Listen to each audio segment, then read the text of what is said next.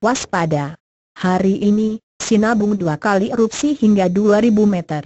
Pos pengamatan mencatat gunung api Sinabung mengalami dua kali erupsi Kamis, 12 Oktober 2017, dengan ketinggian mencapai 2000 meter. Kepala Pos Pengamatan Gunung Api Sinabung, Armen Putra mengatakan, erupsi pertama terjadi pada pukul 2 lewat 45 menit WIB dini hari dengan kolom letusan setinggi 2000 meter. Erupsi juga diikuti dengan awan panas guguran dengan jarak luncuran hingga 1500 meter ke arah selatan dan 2000 meter ke arah timur tenggara. Sedangkan erupsi kedua terjadi pada pukul 12 lewat 43 menit WIB dengan kolom letusan setinggi 1000 meter. Pada erupsi pertama juga terjadi gempa selama 366 detik. Sementara pada erupsi kedua hanya ada gempa tektonik.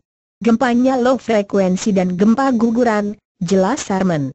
Armen mengaku, saat ini kondisi puncak Gunung Sinabung sedikit tertutup kabut, dengan cuaca cerah berawan.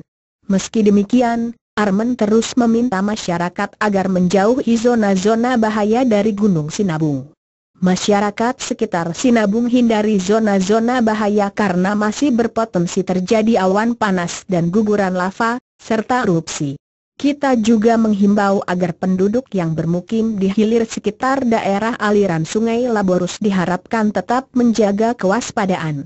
Bendungan di sungai itu sewaktu-waktu dapat jebol karena tidak kuat menahan volume air sehingga mengakibatkan banjir lahar dingin, tandasnya.